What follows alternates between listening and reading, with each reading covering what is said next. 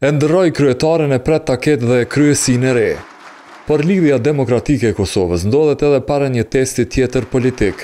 I duhet të marrë vendim nëse do ta votojë apo jo të larguarën Vjosa Osmani kur kjo të kërkojë votat në Kuvend për presidente.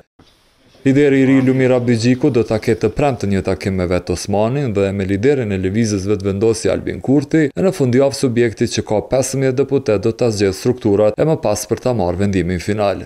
Por disa parime i bën të qarta qysh tani. LDK synon t'i shmangë zgjedhjet. Ky është synimi i parë. LDK synon të kontribojë në formimin e institucioneve dhe LDK synon që këto institucione të jenë demokratike, pra t'i përfaqësojnë gjitha partitë politike Në veçanti pozita e presidentit apo presidentes së Kosovës.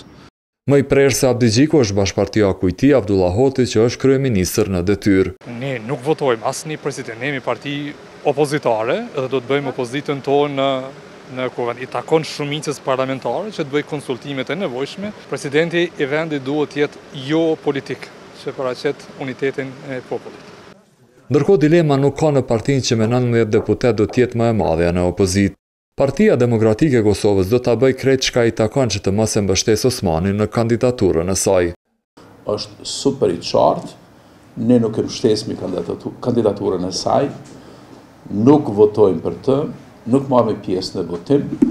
Si ushtrues i detyrës së kryetarit të PDK-së Enver Hoxhaj ka edhe akuza për ish-nënkryetaren e Lidhjes Demokratike. Meqë ka qenë një figurë ma shumë polarizuese, përçarëse në raport me qytetarët e Kosovës, po në raport me ish-subjektin e saj politik, të cilin të cilin subjekt e ka shëndrru në viktimë në këto zgjedhjet e fundit. Ndërkohë, duket se ka ndryshim në qëndrimin e Aleancës për Ardhmërinë e Kosovës që në legjislaturën e tetë ka tetë deputetë.